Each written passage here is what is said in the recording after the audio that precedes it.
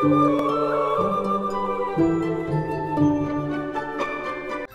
guys, welcome to day 23 of the Breyer Advent Calendar.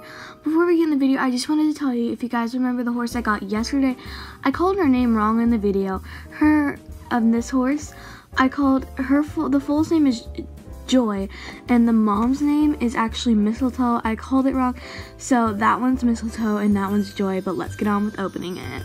This is our lovely day 23. I think I know what we're getting, but you know, we only only two days left. So let's open it.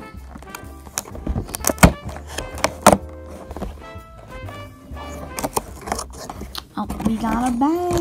We got a bag. We're gonna have to cut this open. Okay, so we got this adorable water trough, which I've been wanting so bad. But you know I get it on like one of the last days. Great.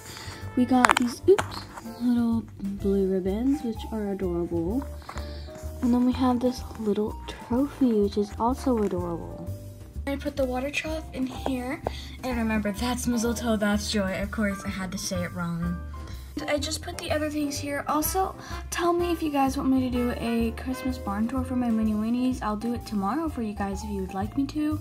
But this is the end of today's unboxing, and I'll see you guys all in my next one. Bye!